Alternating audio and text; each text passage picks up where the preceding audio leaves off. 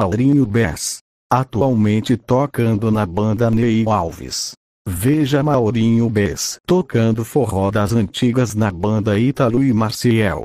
Siga ele no Instagram. E vamos para o groove.